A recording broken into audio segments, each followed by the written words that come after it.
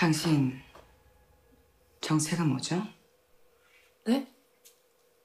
어... 다 봤어요. 아까 당신이 나한테 오래던 그 남자를 붙잡았잖아요. 지금 무슨 말씀을 하시는 건지 어머니 전 강사도님이 시키신 일 있어서 그만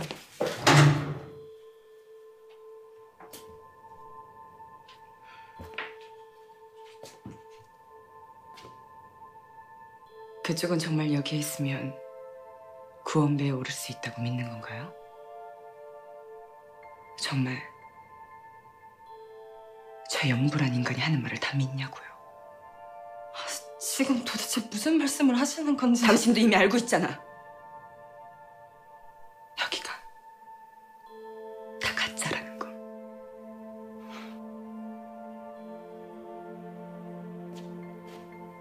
그걸 알면서도 모르는 척하는 건데요? 알면서 모르는 척하는 거 그게 제일 나쁜 거 아닌가요?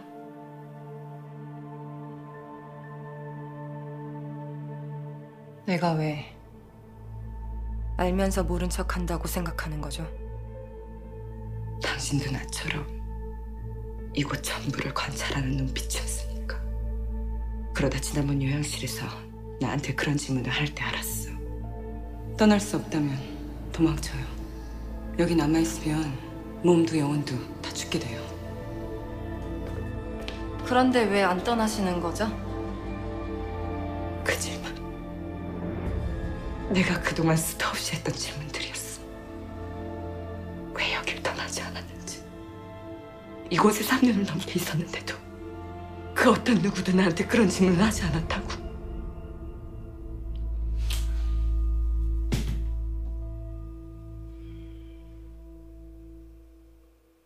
맞아요.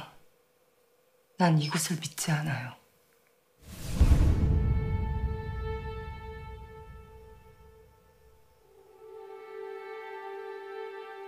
정말 당신도 이곳을 믿지 않는 게 맞나요? 네. 사실 전 기자예요. 밖에선 절대 이곳의 이상한 점을 알 수 없어서 1년 전부터 신도를 위장해 잠입 취재 중인데 이곳 사람들이 절대 증거를 남겨놓지 않아요. 그러다 최근에서야 겨우 심층부에 가까워진 거죠. 그럼 이제부터 내가 도와줄게요.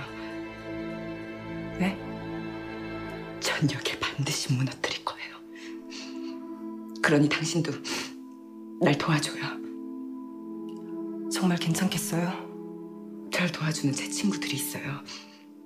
그리고 이젠 기자님도 있잖아요. 그래요.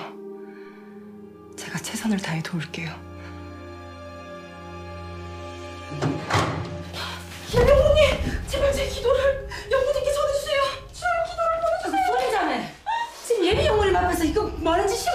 아니, 이런 식으로 반칙을 하면 안 되죠. 맞아 얘 예비 영모님 얘 절대로 기도 들어주면 안돼 얘. 예.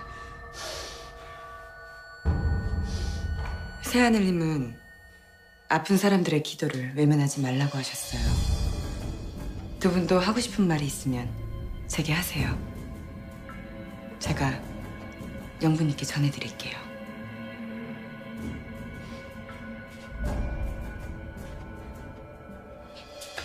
예비 영모님 얘 지한테 아들이 하나 있는데 얘 이놈의 자식아 아이고, 예비 영모님, 예.